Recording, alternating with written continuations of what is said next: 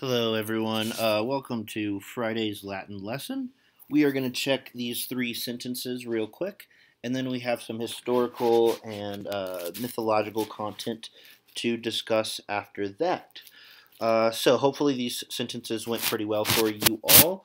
The ones I've looked at already look pretty good. So, proceed through these. So, tempora nostra nuxit mala, vitia nostra magna.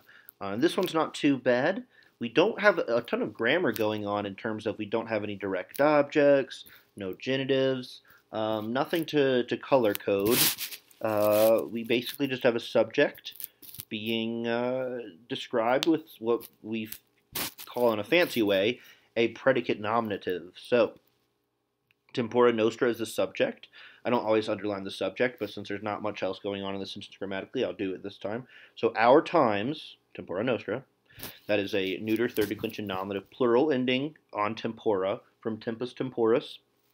Uh, now, nunc, are, sunt, evil or bad or wicked. Um, and then vitia nostra, our crimes. So remember, vitia is not life. Everyone always thinks it's from vita vitae, life, but it's actually from vitium, vitii, crimes. I saw some people make that mistake, and it's totally understandable. Uh, they're so close to one another. My older kids still make that mistake sometimes. But if you see an an I after the T, then it's not Vita. Um, well, uh, yeah, unless it's an ablative or dative plural. Uh, but yeah, it's from vitium, so it was plural nominative. So it's just it's our, our second subject for the other side of the semicolon. Um, so our crimes, great.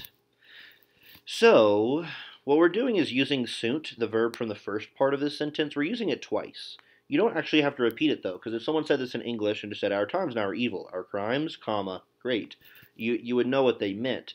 Um, but technically, if you wanted to reuse the the sunt, the R A R E, you could do that. So yeah, don't forget about uh, sum esse. There it is, right there. Sum I am, S U R, ested is. Sum as we are, estis y'all are, sunt they are. This is that third person plural one. That last one right there, sunt, because we have a we have a they. The times count as a they. The crimes count as a they, if you if you will, uh, as in a third plural um, nominative. Uh, all right, so good. Hopefully that one wasn't too bad. Quare soror mea uxori tuae litteros scribit. Okay, we have a little bit of new vocabulary uh, quare can be tricky in that sometimes it's just this conjunction therefore, kind of like igitur, uh, and then other times it's why. So how can you tell which one it is? Well, uh, our editor has added a question mark at the end of this, which is something that the ancient Romans wouldn't have had. They would have just had they would have been familiar enough to to be able to discern. But if we see a question mark at the end, then this is probably going to be why, this quare, not therefore. So why, and then remember, questions can be tricky to get going in terms of you really need to understand everything that's going on with your verb to get a question started. So why is the subject verbing is the best way to do this? Because I see soror mea, which is underlined, that's going to be the subject. And then I go all the way to the end to see the verb scribit, and that's a verb. It's present tense. So I, I am needing to use a helping verb is, and that is tricky. That's something we still have to get used to is that when we have questions, we're always needing to bust out a helping verb like is or are or will or was or were uh, before we actually translate the, the, the, verb itself, which is in this case to write, scribo, scribere. So why is the subject verbing? Why is my sister writing? A direct object. So litteros is accusative. That can be the thing that they're writing. Uh, and there's a couple different ways we, we, we can do this, but I'll, I'll, show you two different ones right now.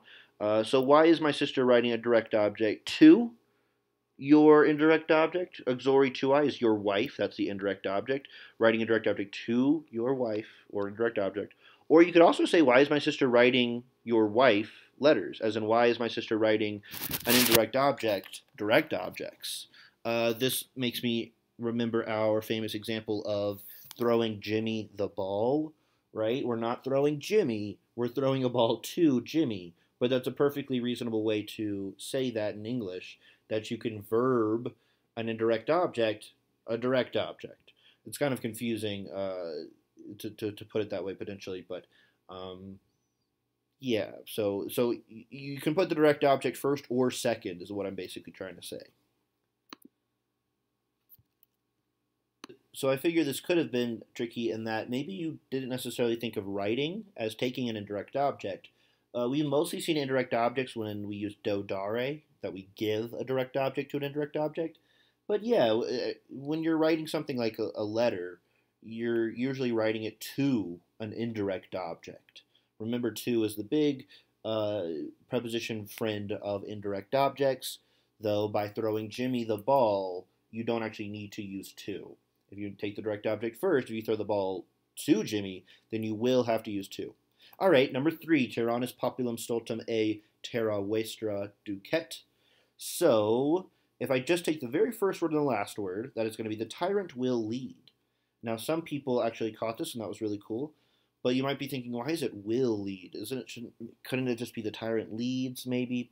But remember, duco ducere is one of our new third conjugation verbs. So the e in the ending actually means it's future tense. Uh, I've highlighted the ending from our example of scribo scribere.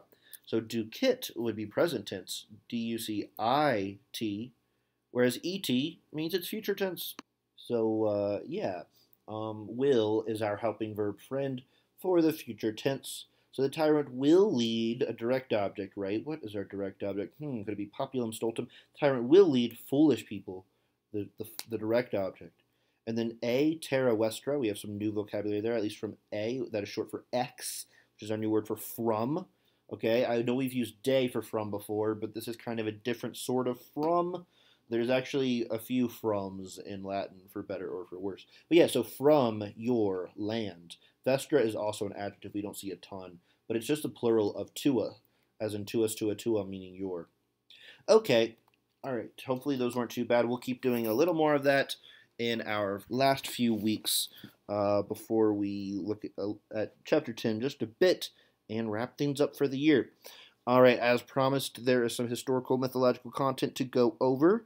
I thought I would do something where maybe a couple times a week, starting now, I will just talk about one really impressive temple or uh, building or like uh, so something impressive that was built during the Greco-Roman times. And the first thing I'm going to talk about is the Temple of Artemis. So this was one of the seven ancient wonders of the world. Other ones we might talk about would be the Temple of uh, uh, Olympia that has a huge statue, or had a huge statue of Zeus. But we'll start off with this thing. Um, let's see. So this was a temple to Artemis, so I'll jump back to the slide, but just to, to refresh you, Artemis is the Greek word for the Roman Diana, who is the twin sister to Apollo. They are both quite good at archery. She was worshipped all throughout the Mediterranean for centuries, and sometimes she is called Phoebe, whereas her brother is called Phoebus. And her weapon is the bow and the arrow. Her animals are stags and deer, and uh, she she generally is a goddess of the hunt, um, but sometimes she's associated with the moon as well. Um, so this temple is actually in Turkey, so it's not actually in Greece. If you look at that middle map uh, with the, the, various different color-coded parts um, that look kind of like puzzle pieces, Greece is that green part right in the middle. I know it looks real small, but that's Greece. To the left of it, or to the west of it, is Italy, the, the red part. And then to the east of it, it doesn't get its own color, but that's Turkey. So I've zoomed up on Turkey at the, the, the, upper right map, and that blue square is roughly where this Temple of Artemis was. So she's all the way on the uh, western side of Turkey. So yeah, we associate these gods with Greece and then later Italy and Rome, but all over the Mediterranean, which is that area you see in the map, uh, these gods would end up having followings and temples and all of that good stuff. This temple is no longer standing, but what you see in the upper left picture is a, um, uh, a kind of reconstruction of what it looked like. And we have an illustration at the bottom to the bottom uh, lower left. So there's all kind of interesting things going on with this temple. Uh, one of them being the fact that towards the 6th century, so that's about 2,600 years ago, uh, Croesus was in charge of the, the, the, the, city that this temple was located in, which is uh, Ephesus. So you might have heard of Ephesians in the Bible potentially. Uh, that's where this temple is. It's in Ephesus. The temple itself was built around the 10th century, meaning that it is about 3,000 years old. Isn't that crazy? So, 3,000 years old, uh, this temple, um, or built 3,000 years ago is a better way to say it since it's no longer standing. But 400 years or so into its existence, Croesus, who was supposed to be the richest king in all of the Mediterranean, was in charge up until he comes into conflict with the Persians. So, uh, a couple hundred years after this is when we have King Xerxes going up against the Greek alliance of Athenians. And so the Persian that Croesus loses to is basically the grandfather of Xerxes' father. Uh, later, Ephesus and the temple becomes a Roman settlement. So, you know, hundreds of years after the Persians and Croesus, Rome takes over the whole Mediterranean, and so Ephesus becomes one of many Roman settlements. Rome often had uh, chunks of Turkey under their control.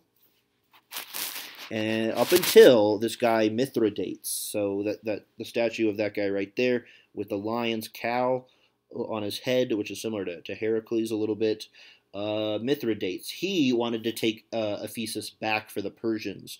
So all of the Roman citizens who were living in uh, Turkey at that time, who were living in Ephesus, living in and around the Temple of Artemis, uh, it was not great for them when Mithridates took over. Mithridates was a very successful warlord who really took uh, the eastern part of the Mediterranean by storm. Uh, later on, it, it, it kind of goes back and forth between being Greek territory, thus a Greek temple, and a Persian territory, thus a Persian temple. Um, but eventually, this is where Ptolemy XII will will call home. He is the father of Cleopatra, so he's actually driven out of Egypt uh, when Cleopatra is just a little baby, and, and he ends up in Ephesus in the Temple of Artemis. Uh, Mark Antony, who was the top general of Julius Caesar, he also has a uh, kind of he, this Ephesus place as a home base for him, and all the while the Temple of the Artemis, uh, Temple of Artemis is uh, the kind of crowning achievement of Ephesus, uh, just simply because it's one of the more impressive temples of the Mediterranean. It was supposed to be really big. We know that it was uh, and it's up there with things like the Parthenon and uh, the, the Temple of Olympia in terms of its impressiveness. Um, and this reminds me of something that's also kind of interesting related to Turkey. Uh, by the way, at the time it was not called Turkey.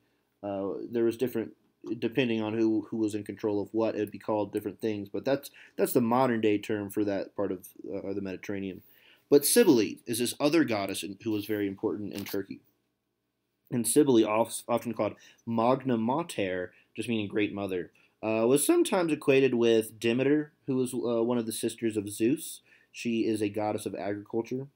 And the reason I bring her up is just for our last little episode before we're done for today, is this really interesting thing where around the second century, Rome is fighting with Carthage, this African territory uh, if you see right there, that blue chunk, that's Carthage. And Carthage gave Rome a serious run for their money for over a century. There are three Punic Wars, is what we call them. That's the wars between Rome and Carthage. And during the second one, that was the most dangerous because we have this guy Hannibal Barca, uh, who literally got elephants to cross the Alps into the Italian peninsula. And he was in Italy for years and years wreaking havoc. During that time, Rome is so freaked out that they consult an oracle, who is a person who uh, kind of guides uh, Romans by consulting these ancient books that they had called the Sibylline texts. Um, and, and she said, Oh, what you need to do is go to Turkey and you need to get this goddess and you need to bring her to Rome. She, she's not in Rome. We, we need to bring her. She's going to help us. And so they send some people to go to Turkey, and there's a specific temple that's a little different than the Temple of Artemis.